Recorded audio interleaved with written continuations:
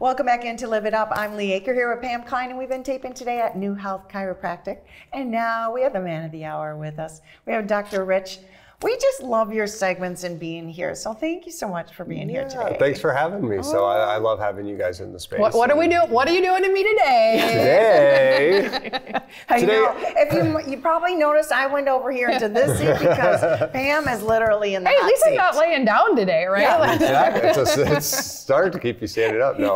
yeah, we'll see if she stays standing. Yeah, yeah exactly. Okay. So if she passes out, we'll, we'll worry about it. So don't yes. worry, mom. I'll no, be there's, fine. There's uh, there's a lot of things that we do chiropractically, and sometimes there's there's adjunct therapies that we can use in order to help get a different result. So mm-hmm. one of those things is dry needling. So the, one of the other things that we'll talk about in the future is something called scraping or IASTM or Graston or Gua Sha. It's got a bunch of different oh, names wow. depending on on what where you got your training and kind yeah. of what you're doing mm-hmm. with it. So, but today we're going to do a little bit of dry needling. Dry um, needling. We use this to break up trigger points. So I used to have a patient, she used to call them her permanents.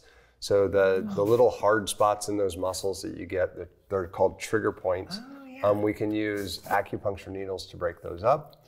We can also use it to to calm the muscle down or, or to have an effect on a joint. Um, it actually causes a little bit of inflammation in the area, which kind of sends the signals for your body to heal an area up. So, yeah.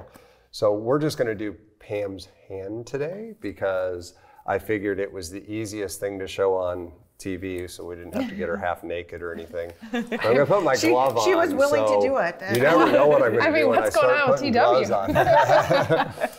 gloves on. so Pam's like, I'm so ready. I'm so yeah. ready. I mean, as an athlete, I am right-handed, so I do have okay. some like cramping sometimes. Yeah. You know, from holding onto a pat- pickleball paddle. And yeah. Exactly. Does this ever start to hurt on you when you're golfing? Mm-hmm. Okay. Yeah, for sure. Okay. Yeah. So this is so, a good spot. So there's a big muscle here called the hypothenar, uh, and it is part of your thumb muscle. So mm-hmm. just put some alcohol on there to clean it, and then okay. these needles are about the size of a hair. So the oh. handle of them is a little bigger, and then they come in a little tube. I don't know if you can see that on TV, mm-hmm. but then we can just put it into the muscle, and we just tap it, and you'll get a little bit, and we're just gonna put that into the muscle. Do you want me to hold Sometimes. it? Okay, yeah, you do. it's it's it's in there. Yeah, so you see a little jump sign yeah, from, from, from where the muscle's being hit. And so we can do that. You're going to golf so much better. Yeah, so it'll relax that muscle. We got yeah. a little bit of bleed on that one, so we'll just stop the bleeding there. Awesome. Perfect. Oh, that was pretty quick though. Super. Yeah. yeah. So. And I'm just teasing. I was. Yeah. As she yanks her hand away. No, I didn't even flinch. I'm not sweating so. or anything. yeah. So yeah, so we can get a so we can get an effect from from that to uh, and then we can use that in different spaces too. So, and so you said now so, that's kind of signaling to my body, like, hey, we've got a little bit of an alarm going on here. I'm going to yep. come back and and heal help that. it out. So it help sends, it out. sends all of those good cytokines and all the things yeah. that we need to heal up that that joint space okay. and, oh, and to, so cool. to heal that muscle up. So, so what, yeah, so what's that's a, a common area then for people to do that?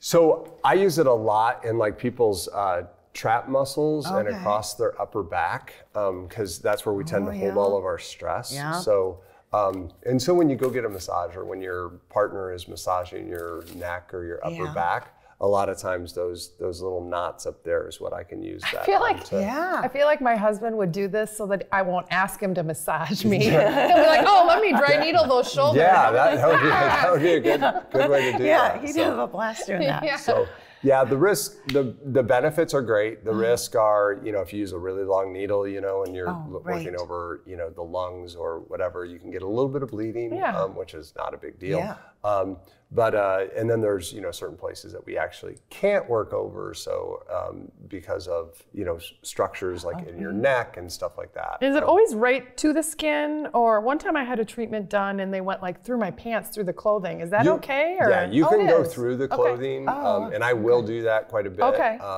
I, you know, you kind of you want to make sure that the surface is clean. Sure. So if you have bacteria on the surface, Yeah. you're introducing this bacteria in. Yeah. It's such a small needle that it, the risk is really low. Okay. But obviously, the cleaner we can make the area, the better. So Yeah. I always sterilize it with with alcohol pads. And Okay. And how many times would like Pam need some work done like that? This, many this times kind as of I work, can get her in kind of work done. So it, it really depends, on, and I'll I'll do it with people um, depending on like what their condition is, Okay. based on kind of what symptoms they're having. So so it might be one and done? Or? Yep, might be one and done. Um, sometimes it takes a little bit more. Sometimes it's where you carry your stress. Sometimes it's um, a little bit of you know like how much of a reaction we get out of it. Oh, so Oh, yeah, yeah. I might do it one time and then not do it again for another month because they oh, get a Oh, nice. you know pretty good reaction from it. Oh, so Oh, nice. Well, thank you so much. I enjoyed these experiments on Pam. We'll keep doing 'em. Good. Yes, yes. Well, they're very informative, and I'm sure they're very helpful for people. So I appreciate that. Thank you so much for watching Live It Up on Television Wisconsin.